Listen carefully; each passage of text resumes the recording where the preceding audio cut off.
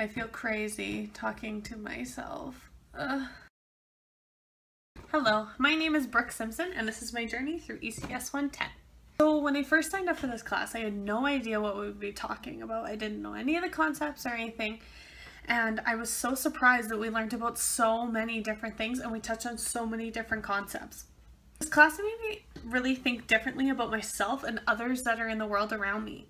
It has pushed me to think in different ways and has made me feel uncomfortable at some times, but has now made me grow as a student and as a future educator. Throughout the course, we talked a lot about white privilege and how white privilege affects not only us, but other people in the world. I hadn't really thought a lot about white privilege um, until this past year university, and then this class really opened my eyes to it. I knew that I was privileged because obviously I'm white, but I had never thought about it in a way that this class made me think about it. So I am someone who falls into the category of the normative narrative of I'm not privileged because I've had hard times in my life. Well, everyone's had hard times in their life. We can't take away our privilege and make ourselves blind to that because we have had struggles. Everyone has struggles and we do have white privilege and it's important for us to recognize that.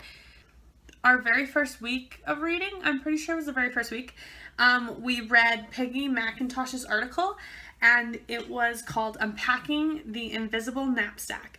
And this article really opened my eyes uh, and made me realize um, a lot about white privilege. And that's what kind of got the ball rolling for me.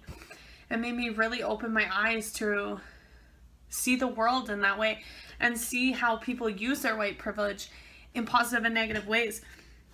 And I've noticed now, I notice it a lot more when I go out to places and I see people using their white privilege. And then it dawns on me, I'm like, hey, they're doing that. And this class has done a lot of that for me.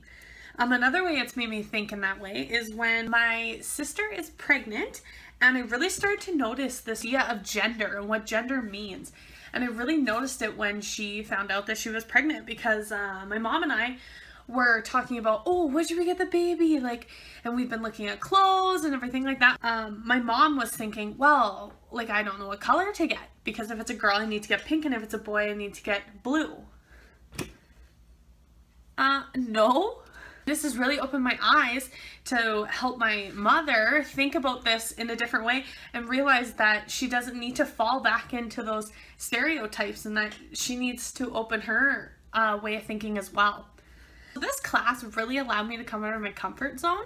Um, I'm usually the person who just sits and observes and doesn't chime in and I just listen to what everybody else has to say.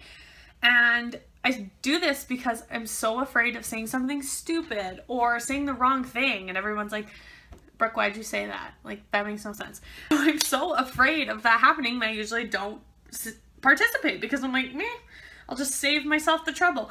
Um, but this class really um, helped break down that wall for me um, with the breakout rooms and just being able to talk to different people, people who don't know me, because in arts ed, we pretty much all know each other. Now I feel comfortable with my colleagues and I am able to um, chime in and know that I have what I have to say is important. Another thing um, with this class is it made me feel uncomfortable at times, which I'm sure that's what it was supposed to do. Audrey always said, embrace that feeling. If we were talking about something and I was like, why are we talking about this? Or I don't know if that's right. That's what it was supposed to do. And it, I realize that now. And it's, that's such a great way of thinking and such a good idea of embracing that feeling. I really like that. And even though sometimes I was unsure how I was supposed to answer or how I should answer, it was really good to know that I should just embrace that feeling. And I should think about why am I feeling that way? What is making me feel uncomfortable? Even though I was unable to touch on everything that we learned over this course, the ones that were most important to me that I found will impact me as a future teacher. I'm very happy that I took this class. It gave me a new set of eyes to look at the world from. And I would like to just thank you all for this and thanks for the wonderful semester future Brooke, you are going to hate editing this.